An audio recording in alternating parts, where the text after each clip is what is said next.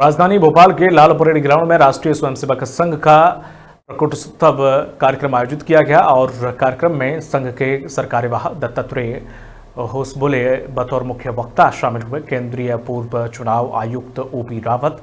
इस कार्यक्रम में मुख्य अतिथि के तौर पर शामिल हुए। इस दौरान संघ के स्वयंसेवकों ने शारीरिक क्रियाओं का प्रदर्शन किया। कार्यक्रम में 2500 से अधिक स्वयंसेवक शाखाओं में प्रतिदिन चलने वाले शारीरिक अभ्यास का प्रदर्शन हुआ। शाम साढ़े चार बजे शुरू हुए कार्यक्रम में स्वयंसेवक दल के दस प्रगत योग, समता, दंड योग, व्यायाम योग बैठ कर करने वाले योग आदि का प्रदर्शन किया गया और इस कार्यक्रम में घोष के तीन दलों ने घोष किया और कार्यक्रम में प्रांत संघ चालक अशोक पांडे, विभाग संघ चालक डॉक्टर राजेश सेठी मौजूद रहे।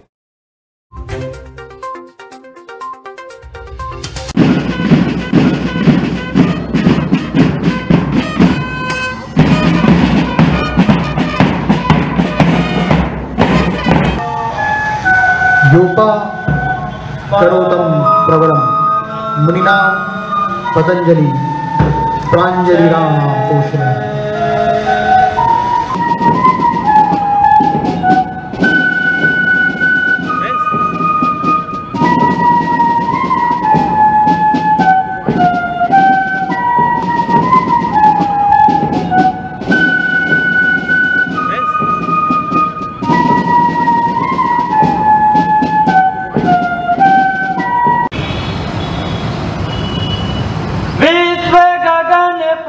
फिर से गूंजे।